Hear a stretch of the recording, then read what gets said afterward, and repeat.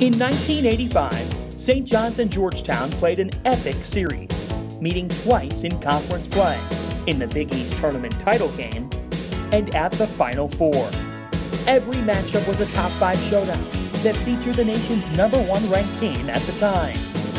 The headliners for those main events were some of college basketball's biggest personalities on the sidelines and two pillars of Big East hoops on the court Chris Mullin and Patrick Ewing.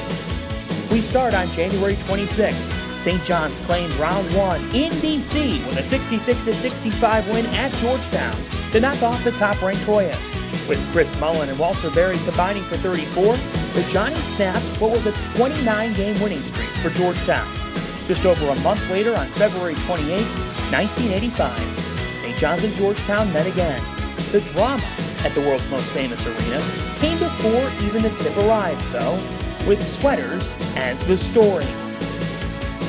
In terms of the game, it was the seven footer Patrick Ewing who led the way for a big win 20 points, 6 blocks, and the Hoyas rolled 85 69. It was only fitting that these two teams met again for the Big East tournament title on Saturday, March 9th. Offense was the story, but Ewing led the way to a 92 80 victory for the Hoyas giving Georgetown their second straight tournament title. Arguably the greatest season in conference history continued with a Big East party in the Final Four. Georgetown would beat St. John's again 77 59. It was the third Big East team in that Final Four, though, Villanova, that won the national championship. Now, Ewing, a two time Big East Player of the Year and a 1985 National Player of the Year, as well as Mullin, the three time Big East Player of the Year and Wooden Award winner, are back at their respective schools as the head coaches of the Hoyas and Red Storm, respectively.